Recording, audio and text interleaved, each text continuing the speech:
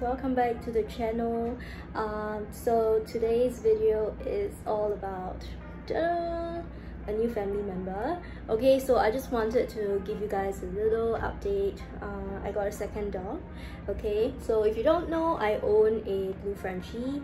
Um, and this is my second dog. Okay baby T T for Thea um, so she's a toy poodle so she's currently about three and a half months old and this video is basically like a puppy video. I just want to show you the process of getting her uh, some snippets of training her some snippets of her cute moments and just answering some of the puppy questions that you guys have submitted. Um, for those of you who are wondering especially my older followers don't worry Hector is all good and all fine. He's very healthy now. He's living with his dad and I get very regular updates about him. Uh, I'm still contributing financially to um, Hector's life. Uh, we co-own Hector, so we are co-parenting very well. So thank you if you have been asking about the whereabouts of Hector. Um, yeah, thank you so much for loving Hector. I really appreciate that.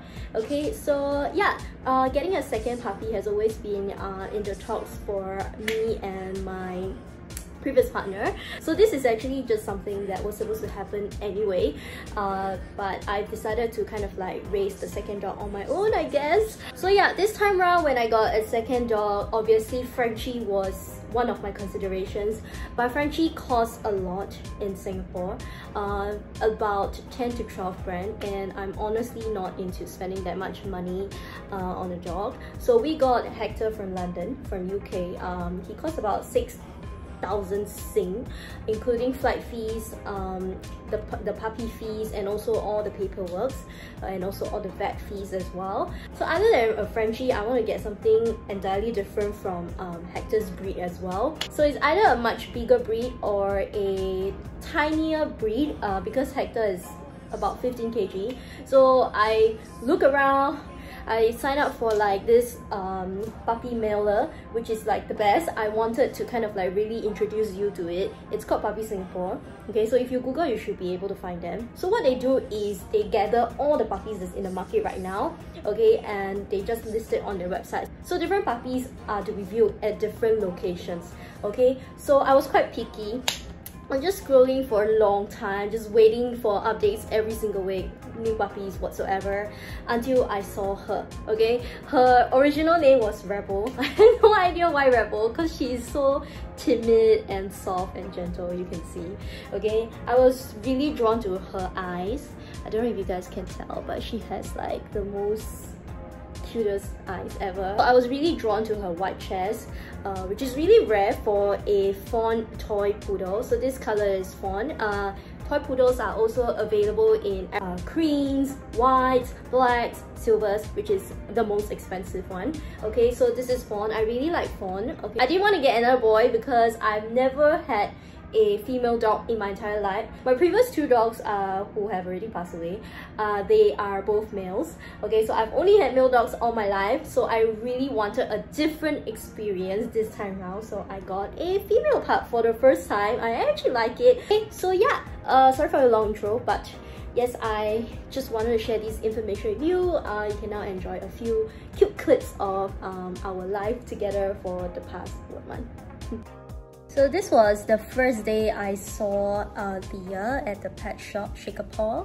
So I saw her on Puppy Singapore's uh, email. She's very calm as you can see. I have muted the background sound. Um, the other dogs are actually barking and just really excited to see humans, but she's just her own vibe.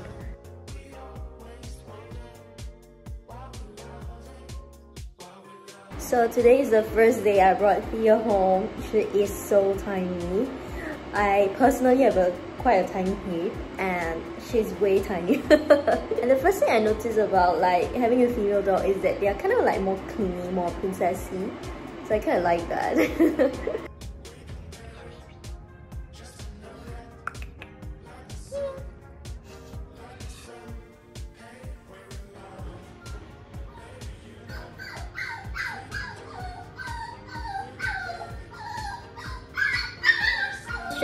other puppies, the first few days are always the most stressful because they are adjusting to a new environment. So this is after she peed on the wrong area, if I'm not wrong. But not for too long because you want the pen to be a place where she sleeps, she finds comfort and she feels safe in it.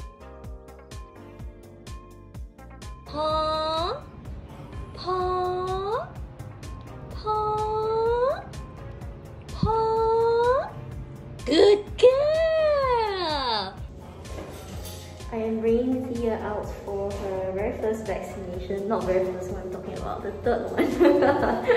okay, I don't have the backpack with me yet. So she's in this tiny little tote bag. Uh, she seems pretty calm in it.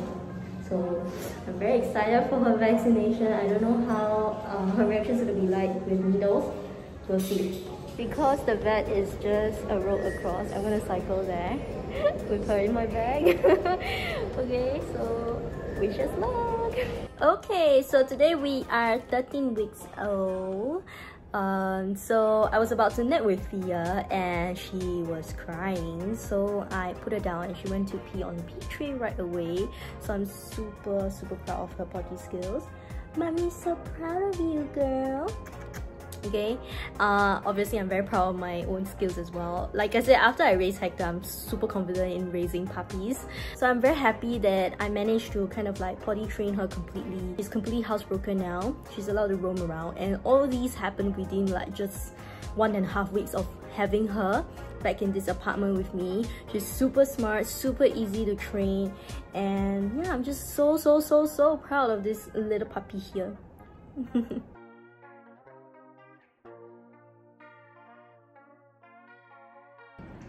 Oh yes, update on her vaccination. So she's having dinner right now. Uh, we couldn't do the vaccination today because according to the vet, she's less than 16 weeks old, which is when um, the third puppy booster is the most effective. So it really doesn't make sense uh, for us to inject her today because she's not even 14 weeks old yet. So there was a false alarm for her, but at least, you know, she kind of like uh, get a feel of how it's like to go to the vet. So I'm happy for her regarding that. Alright, so some of you have been asking how I housebreak my dogs. Okay so when I first got Hector same as when I first got Thea this is what I set up okay? So this is called crate training. Um, a lot of owners skip crate training because when they get a puppy they just want to cradle they want to sleep with the puppy. But it's not right because you need to let the dog knows where are their boundaries in the house. So they need to master their own area which is that crate first. Then they are allowed to explore other areas of the house okay? So the, in their little crate itself this is their own territory that you are giving to them. Uh, they are supposed to learn how to potty first. Okay on the pee tray then they are allowed to explore the other uh, areas outside of their own territory and then you know that is when you have housebreak them of course. Okay so let's take a look at what is needed inside a crate. Okay so this is Thea's crate okay? So this is a very beautiful pen and expensive one that I got uh, from a friend okay? It's actually secondhand so I'm actually looking to sell it away. I didn't expect to sell it away this soon because um, I thought she would need it till she's six months old, but she's already completely house trained. I just want to show you, okay, a bit explicit content. It's her waste. So if you don't want to see dog waste, please uh, fast forward for a few seconds, okay? If you're ready, let's go. Okay, so Thea is very good girl. She has successfully mastered everything from peeing on the tray to pooing on the tray as well. This is one thing that I am very proud of because for Hector, he doesn't like to poo on a tray. He likes to poo in the balcony, a specific area, but not on the tray. He doesn't like to pee and poo on, his, uh, on the tray on the same area. So, okay, that's fine with us as long as he pees on the tray. Okay, so in your crate, now this is quite a tiny area because Thea is very tiny. She's only 1 point something kg, okay? So obviously Hector's crate, Hector weighs 15 kg. He's a medium breed his crate area was way bigger than this okay? So this is a tiny bed for them to rest. Um, obviously food and water bowl she just ate so I always clear away. Uh, I like to clean the bowls. And a little pee tray this is a size um, small very that usually there are three sizes of pee trays for dogs. Okay I'm sorry the waste. Sorry.